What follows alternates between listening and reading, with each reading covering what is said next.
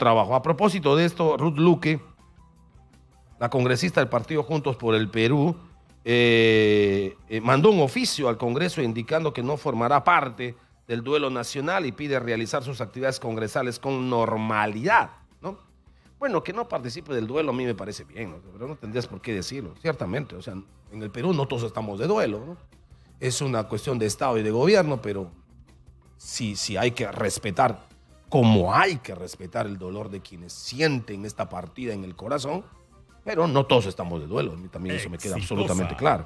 Eh, pero lo que ha pedido Ruth Luque es que eh, sí hayan las actividades. Aquí está la, la- la comunicación, es un documento que ha firmado, es un oficio. Dice, mm, dice, dice, dice, dice, debo informar que como parte de mi función congresal tengo programado para el día viernes a las 3 de la tarde la audiencia pública sobre fusión o reorganización del Ministerio de la Mujer y Poblaciones Vulnerables en el Congreso. Por ende, dice, no suspenderé ni reprogramaré mis actividades congresales.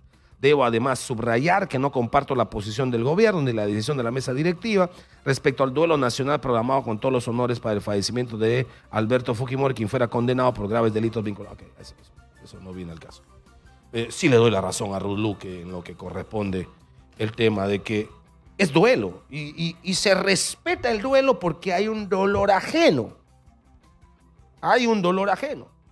O sea, la cantidad enorme de gente que ha estado ahí no se puede borrar.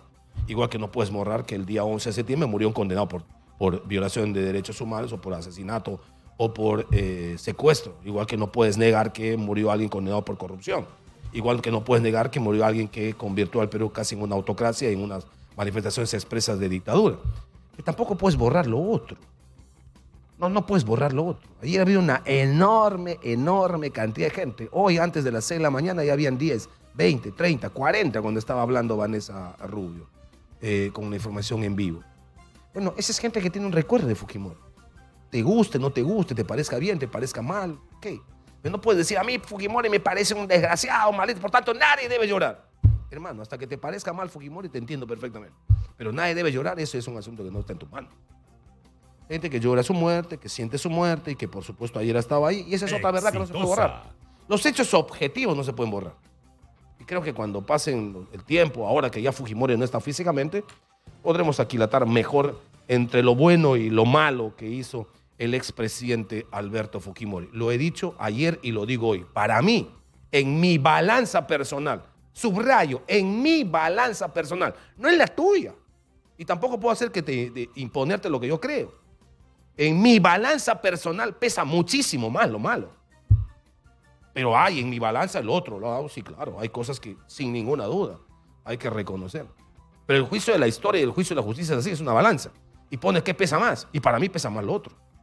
Son las 6 de la mañana con 46 minutos. Voy a abrir línea telefónica